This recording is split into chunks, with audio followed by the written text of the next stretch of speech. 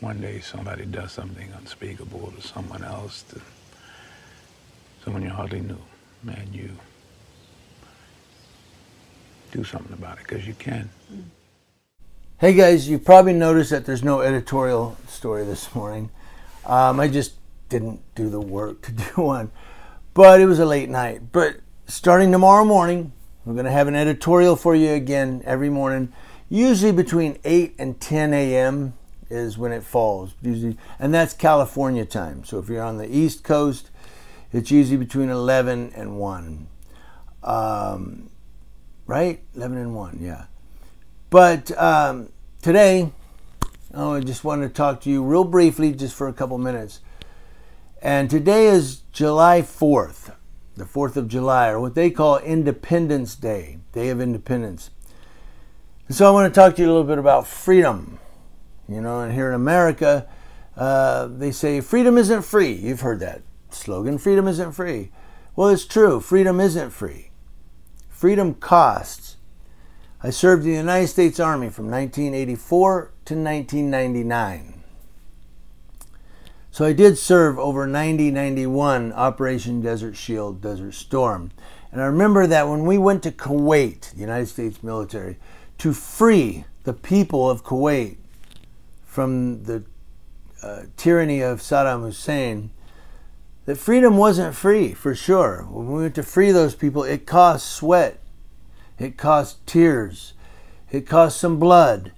Missiles were sent. The Patriot, the Scud missile, they were sent. It costs to be free. So here in the United States of America, it's no different. There's a cost to pay.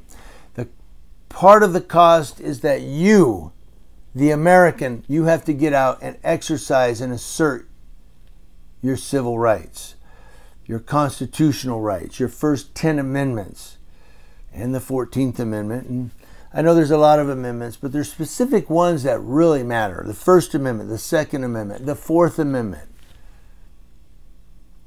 Those are rights that we have to protect. And so,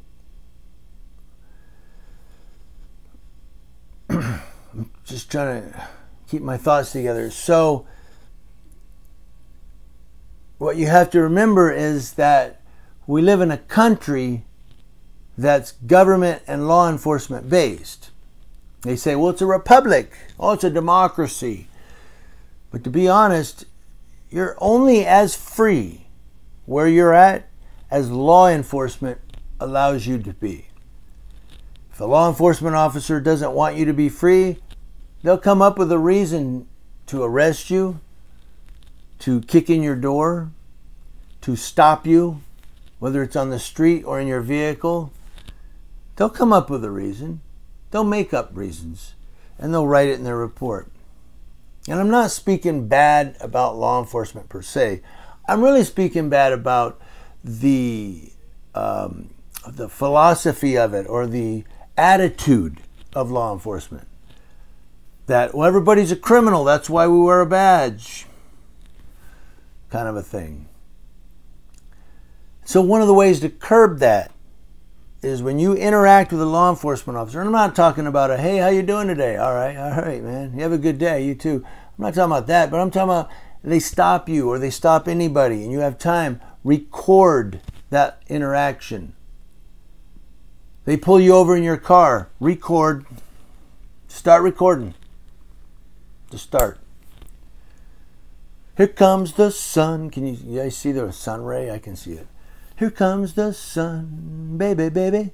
Um, but to start recording them, the only way we're going to, you know, push against law enforcement trying to um, take our freedoms is to assert our rights. The First Amendment, free speech, the right to free press, record, the right to peaceably assemble. And there's others. There's five elements of the First Amendment. But that's the only way we're going to take back our freedom is to get out there and assert our rights. People say, well, it's a little crazy. Assert your rights? Yes. Because the government and law enforcement are trying to take our freedom.